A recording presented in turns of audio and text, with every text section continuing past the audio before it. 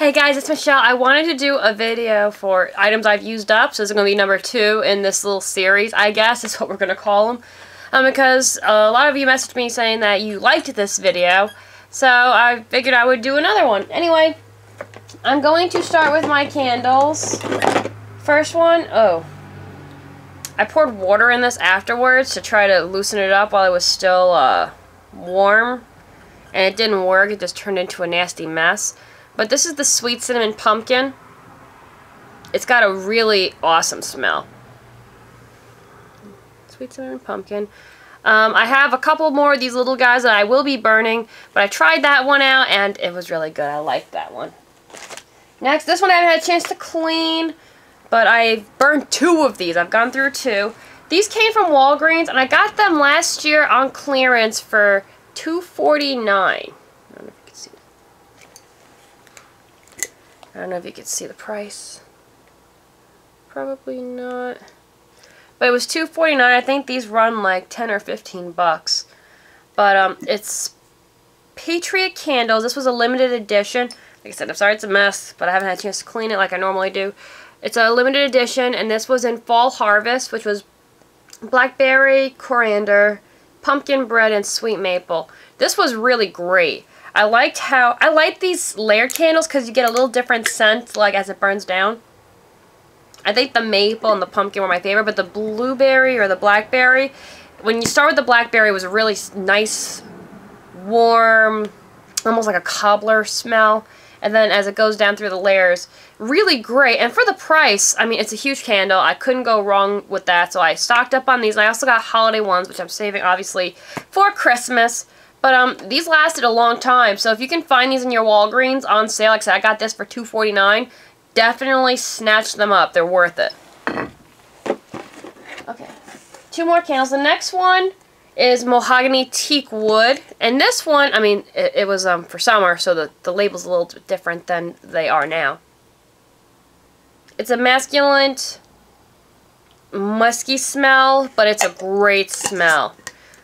I wish I had this one in the bathroom and not in my bedroom, but it was a great smell. Refreshing blends of sandalwood and citrus with highlights of cedar, oak, and essence of mahogany. Definitely try this if you can find it. I know they're still selling it, but the front's a little different. This is like a summery theme, and um, the new one I think is like a wicker looking theme, but definitely get this one. It's good. One more candle, and this again I got on clearance as well. Um, I got this one from Target last year, and I paid $7 for and they're normally 10 $3 savings, not that much, but I got it because of the fragrance, and it was pumpkin, because Joey loves pumpkin. And this smells like a pumpkin muffin. It smells so good. Oh my gosh. Side note, go to Dunkin' Donuts and try their pumpkin muffin. That's all I'm going to say. It is really, really good. I normally like their pumpkin munchkins, but the muffin is, it's divine. That's all I'm going to say. But yes, um, smells just like that muffin I just spoke to you about. Delicious. And I believe that they have this out this year as well. So, another pick. Next is more beauty-ish products. First I'm going to show you is Bath & Body Works Cherry Blossom Body Splash. I didn't purchase this. This was given to me by my brother's girlfriend. Um, she gave me a matching lotion, which I'm still working on. I like the smell. Would I go out and buy this myself? No.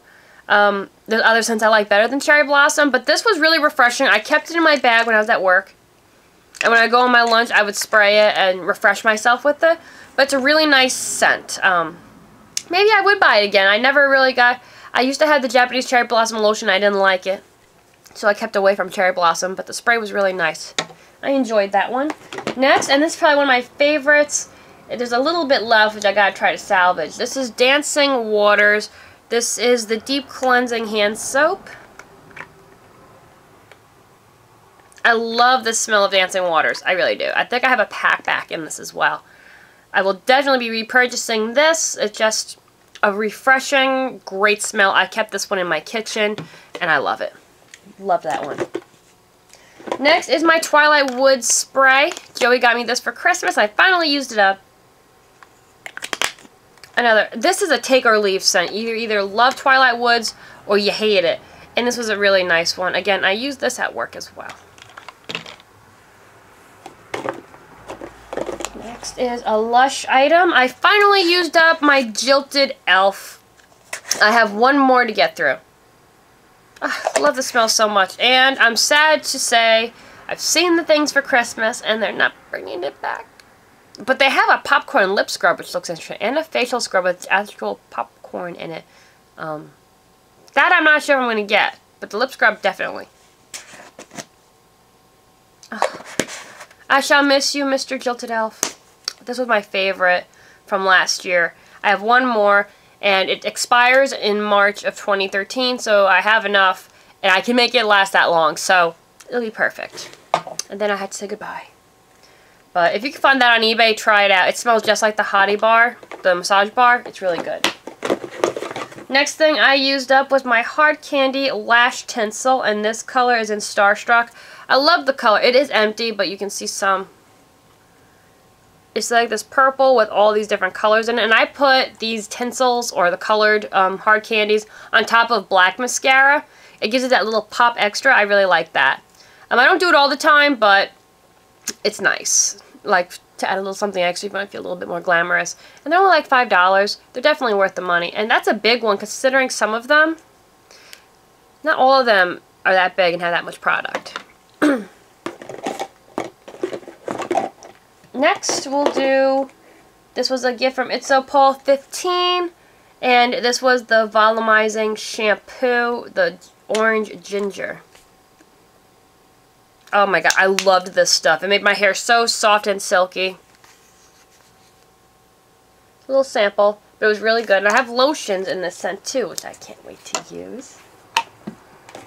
Next is my Queen Helene Mud Pack Mask. I've used up. You can see I, I squeezed every last drop out of this thing.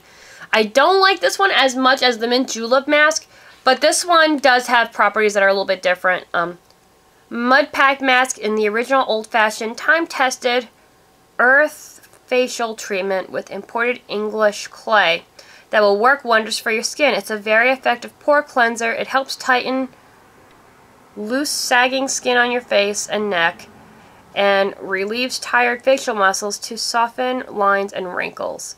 Enjoy the Mud Pack Mask Facial as a pick-me-up when you feel tired, when you're preparing to go out for the evening or preparing to go to bed.